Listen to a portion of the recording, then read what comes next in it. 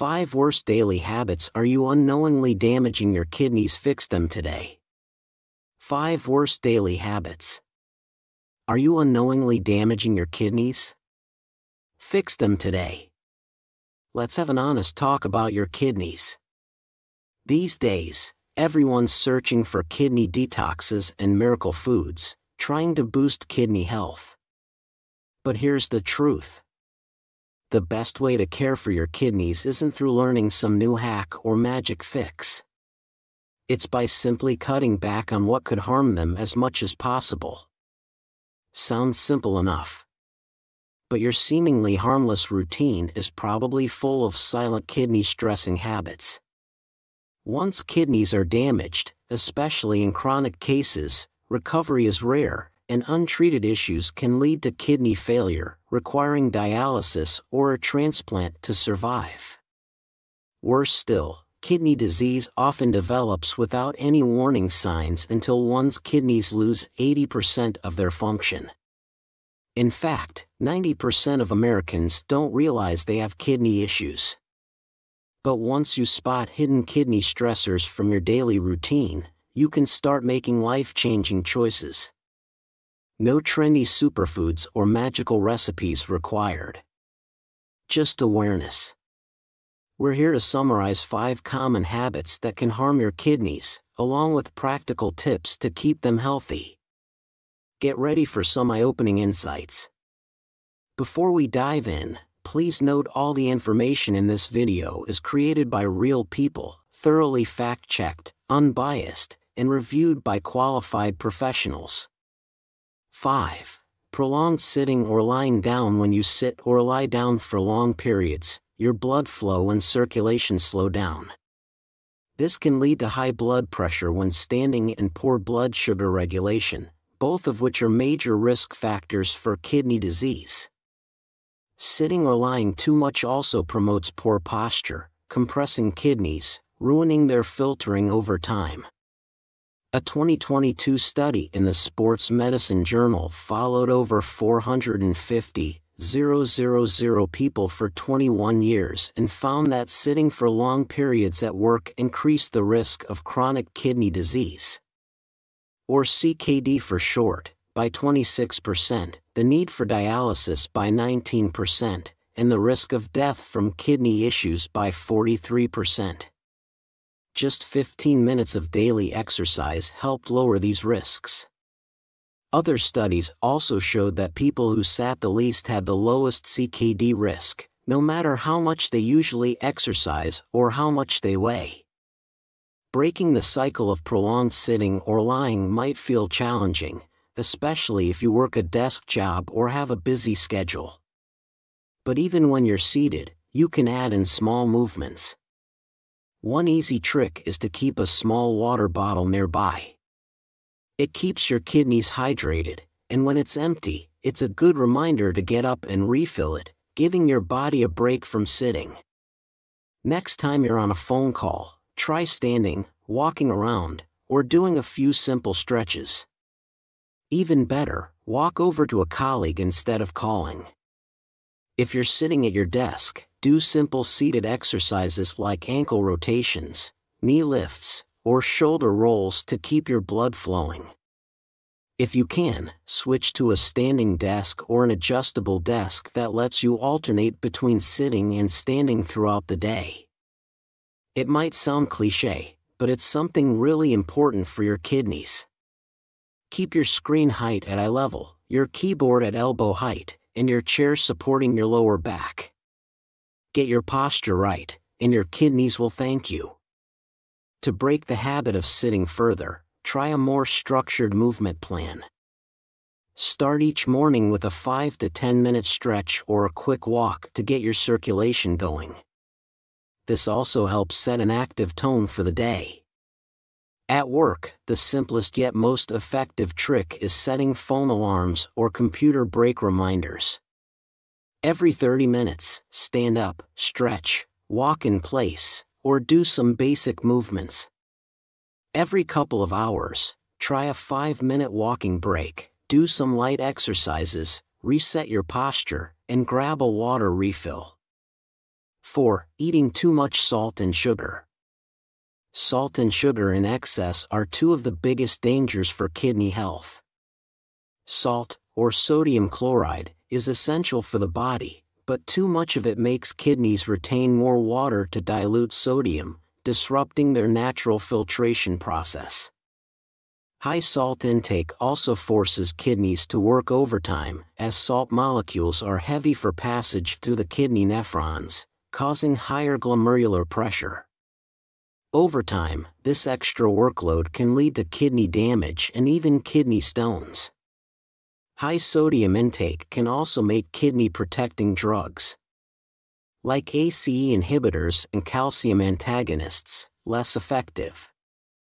How about sugar?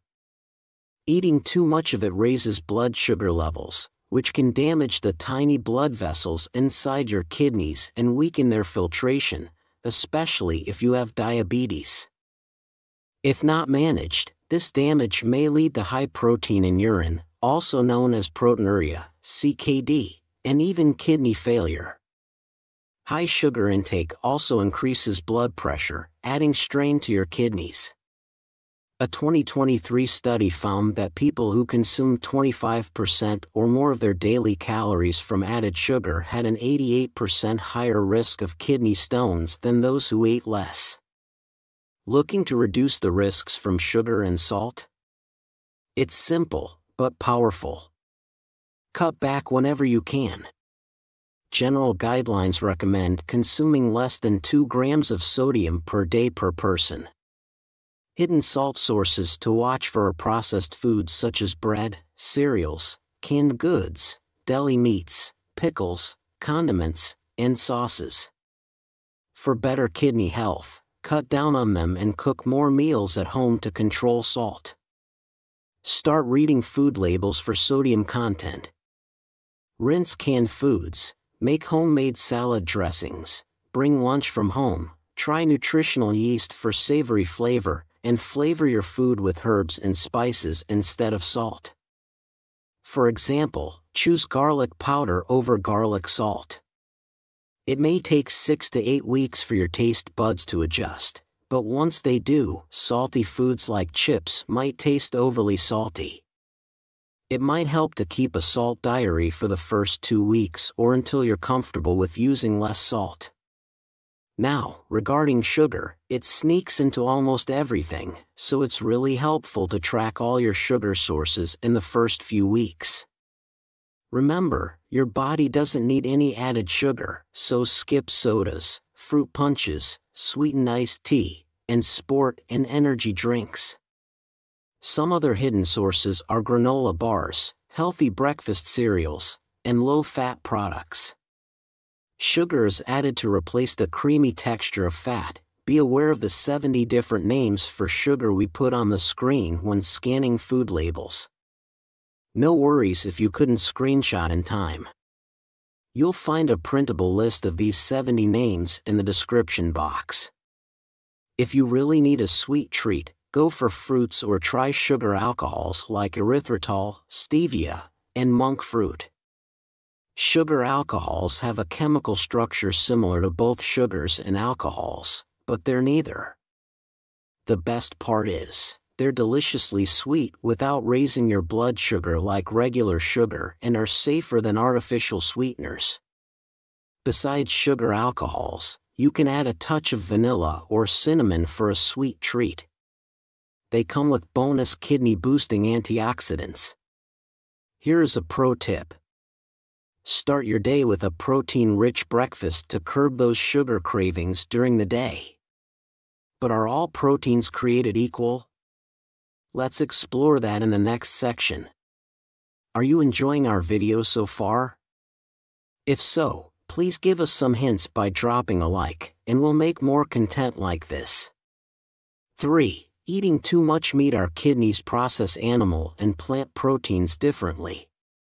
For example, according to Nutrition Facts, after eating tuna, your kidneys work 36% harder within 3 hours. But if you eat the same amount of protein from tofu, your kidneys usually don't have to work any harder. Why does this happen? animal protein contains purines, which get broken down into uric acid. High levels of this waste product can lead to kidney stones. Eating meat also raises the level of acid in your blood. When acid loads are too high, the kidneys must work harder to keep balance, which can eventually damage their filtering system, cause inflammation, muscle loss, and weaken bones. Another harmful effect of eating too much meat is the production of uremic toxins in the gut. Like TMAO, which is linked to a higher risk of heart disease and can speed up kidney disease progression. Give your kidneys a break by swapping some animal foods with fresh veggies and whole grains. Foods like beans, tofu, tempeh, seeds, nuts, and quinoa are great sources of protein. When choosing meat, consider lower purine cuts, like chicken or turkey, instead of beef and pork.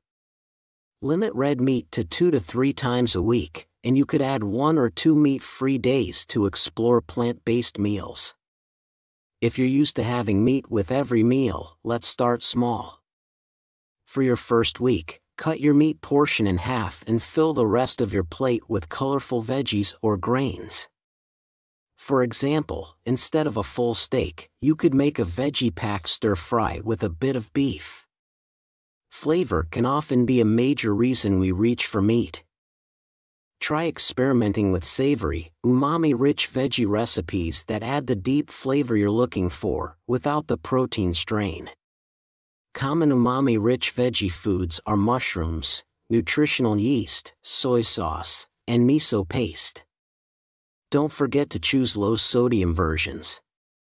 It might take a couple of weeks to adjust, but you'll find some new favorites.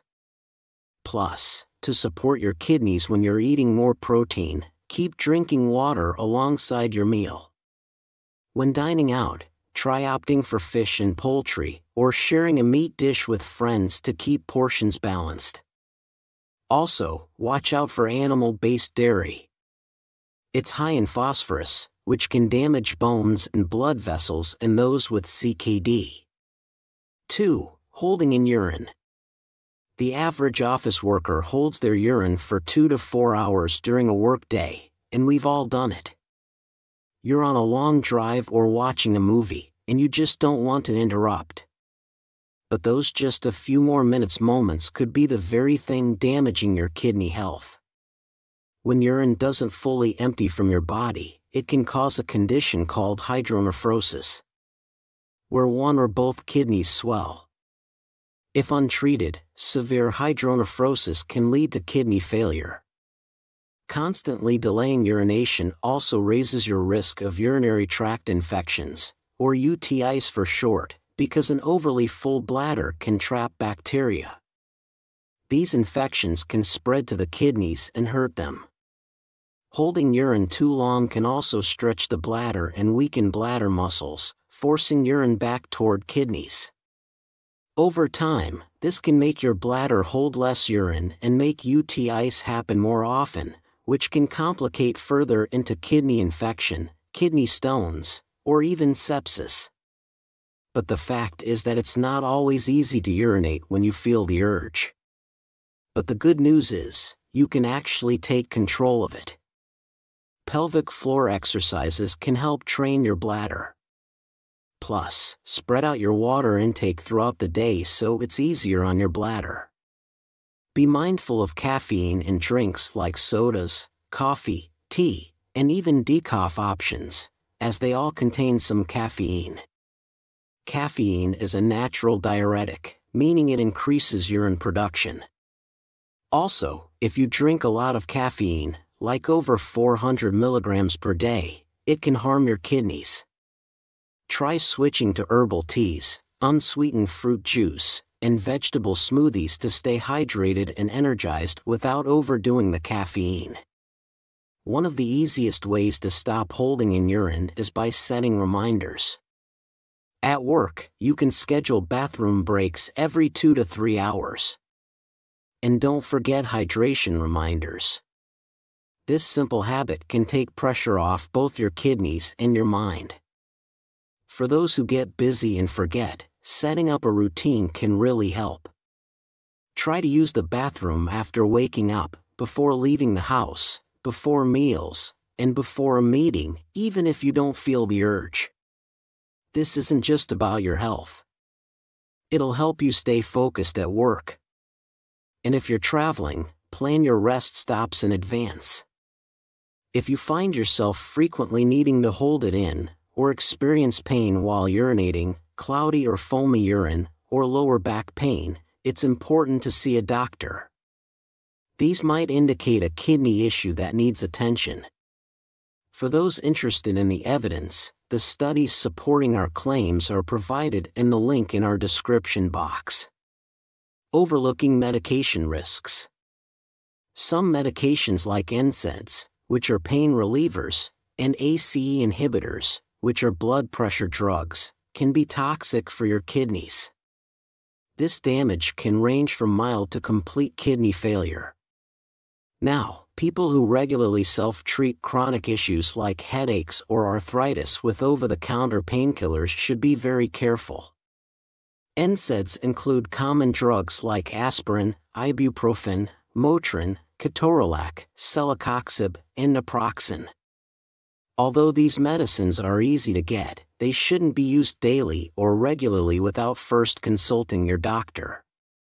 Every year, about 500, 000 to 2. 5 million people suffer kidney injuries from NSAIDs. Why? NSAIDs work by blocking an enzyme called COX, which normally helps produce pain causing substances. However, COX is also important for protecting the kidneys under stress and helps regulate sodium and water balance. By blocking COX, NSAIDs can lead to fluid retention, inflammation, reduced kidney blood flow, impaired kidney function, and even acute kidney failure. They can also raise blood pressure, worsening kidney damage. Another medication to be cautious with is ACE inhibitors, commonly used to lower blood pressure and treat heart, and even kidney conditions. Popular ACE inhibitors include Zestril, Prinivil, Altace, Vasotec, and Lotensin. These drugs help lower blood pressure and widen blood vessels, which may improve blood flow to the kidneys, reducing their workload. However, when you consume them with NSAIDs, diuretics, or alcohol, your risk of acute kidney injury, or AKI, can increase sky high. Not drinking enough water while taking ACE inhibitors can also raise the risk. In rare cases, especially in people with heart failure or severe dehydration, ACE inhibitors can cause acute kidney failure. Therefore, dosages and drug interactions should be carefully managed by your doctor, and ask them for medication list reviews regularly. As we live in a time of medications, always remind yourself that they can kill us silently. Pain or high blood pressure could be your body's way of alerting you to deeper health issues. Rather than just addressing these symptoms, try to focus on the root cause of the problem. With this approach, you can truly protect your kidneys from possible drug related risks and have greater confidence in your health choices. If you rely on pain relievers lately, consider using them only when absolutely necessary and try to limit their use to a few times a week at most. Try home remedies like heat cold or physical therapy, such as compression therapy and posture correction. Acupuncture, massage therapy, gentle stretching, or meditation also work really well. If you're on blood pressure medication, check in with your doctor before making any changes and ask if there are lifestyle adjustments like diet, exercise, sleep, or stress management that can support healthy blood pressure. Avoid alcohol as it can interact with medications and add stress to your kidneys and nature is the best healer. Learning mind body approaches to reduce stress overall. Like meditation, deep breathing, guided imagery, mindfulness practice, stress journaling, regular exercise, and gentle yoga can help you manage pain and blood pressure naturally. They're great for just about anything with no side effects.